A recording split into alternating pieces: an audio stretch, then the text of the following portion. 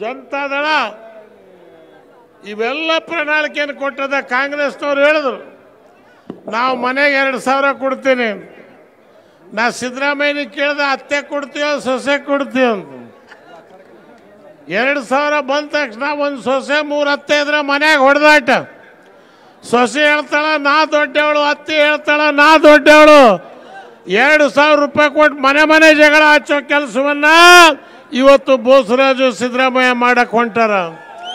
ಇವತ್ತು ನಮ್ಮ ಕುಮಾರಸ್ವಾಮಿ ಅವರು ಹೇಳಿದ್ರು, ಐದು ಸಾವಿರ ರೂಪಾಯಿಯನ್ನು ಅರವತ್ತೈದು ವರ್ಷದವ್ರಿಗೆ ಪೆನ್ಷನು ಗಂಡ ಇರಲಿ ಹೆಂಡ್ತಿರಲಿ ಒಂದೇ ಮನೆಯಲ್ಲಿದ್ದರೂ ಕೂಡ ಹತ್ತು ಸಾವಿರ ರೂಪಾಯಿ ಕೊಡ್ತೇವೆ ರೈತರು, ಎಕರೆಗೆ ಹತ್ತು ಸಾವಿರ ರೂಪಾಯಿ, ಹತ್ತು ಎಕರೆ ಇದ್ರೆ ಒಂದು ಲಕ್ಷ ರೂಪಾಯಿ ಫ್ರೀ ವರ್ಷ ಫ್ರೀ ಜಮೀನು ಇಲ್ಲದೆ ಇರ್ತಕ್ಕಂಥ ಕೂಲಿಕಾರರು ಎರಡು ಸಾವಿರ ರೂಪಾಯಿ ಪ್ರತಿ ತಿಂಗಳ ಕೂಲಿ ಮಾಡ್ತಕ್ಕಂಥವನಿಗೆ ಫ್ರೀ.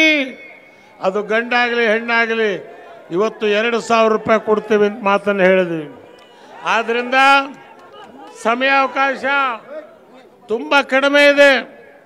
ನಾವಿನ್ನೂ ನವಲ್ಗೊಂದು ಕೊಪ್ಪಳ ಈ ಮೂರ್ನಾಲ್ಕು ಭಾಗದಲ್ಲಿ ಪ್ರವಾಸಕ್ಕೆ ಹೋಗ್ಬೇಕಾಗ್ಯದ. ಮೌಜಿಸ್ ಬುದುರ್ಗ ಅವ್ರ ದೋಸ್ತು तफसील से बात करने का वक्त नहीं है। मैं इस पार्टी का सदर हूँ। आपके सामने वेंकटप्पा नायक को कैंडिडेट बनाया हूँ, वो एमएलए है। वेंकटप्पा नायक जीता तो सिर्फ़ वेंकटप्पा नायक की ताकत नहीं, बल्कि उम्मत मोहम्मद या सीएम इब्राहिम की ताकत है आज। रायचूर में घर के काम वाले को कैंडिडेट बनाया बोसराज की बनाया बाबा? अच्छा भारी कैंडिडेट नहीं था क्या? था दिया नहीं की। आगे इसका बेटा वहाँ इलेक्शन को खड़ना, वो देखो किसे भी मज़बूत मुसलमान लीडर को लाना नहीं चाह रहे।